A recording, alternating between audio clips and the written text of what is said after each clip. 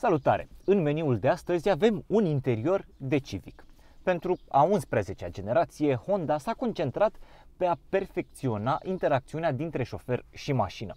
Poziția la volan este surprinzător de joasă, în timp ce eliminarea unui selector fizic pentru treptele de viteză a făcut loc aici pentru câteva butoane. O soluție pe care nu toată lumea o îndrăgește, însă una care mie personal mi se pare foarte utilă în contextul sistemului de propulsie full hybrid.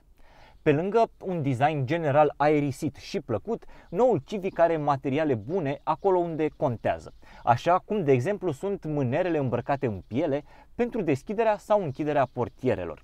Ecranul central are parcă 9 inch și mie mi se pare că răspunde mai repede decât înainte. Asta chiar dacă nivelul graficii sau al rezoluției pare cumva neschimbat. La fel cum apreciez și butoanele fizice pentru reglarea temperaturii și a intensității fluxului de aer. Fiecare rotire este însoțită de un feedback plăcut și de un sunet demențial. Mai mult, centrul butoanelor poate fi apăsat pentru activarea diferitelor funcții și este genul ăla de apăsare plăcută cu feedback tactil. Așa cum ziceam, foarte plăcute și îmi mențin părerea despre climatizare și volum. Acestea sunt comenzi fizice care sunt mult mai utile cât timp ești la volan decât cele tactile.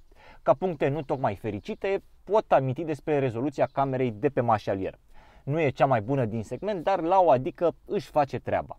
În cazul mașinii de test, instrumentarul de bord este semi-digital, semi-analog, configurabil după bunul tău plac prin intermediul comenzilor de pe volan. Vei observa și o structură de tip fagure care acoperă gurile sistemului de climatizare și care îmi place foarte mult. Mai ales că aceste mici comutatoare pentru distribuția fluxului de aer sunt plăcute și seamănă mult cu cele ale unui joystick de PlayStation. Pe bancheta din spate e loc mult spre foarte mult, în ciuda faptului că linia plafonului e mai coborâtă. La nivelul genunchilor nu cred că te poți plânge, iar la nivelul capului eu zic că e suficient de bine pentru persoane de înălțime medie.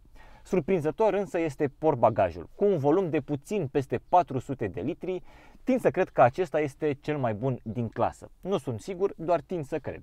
Per total, eu zic că Honda și-a făcut treaba foarte bine ai materiale bune, un layout plăcut și câteva artificii superbe, așa cum e cazul butoanelor pentru volum și climatizare. Iar când vine vorba despre spațiu și despre caracter practic, Civicul sigur e în topul segmentului compact. Numai și numai bine. La revedere!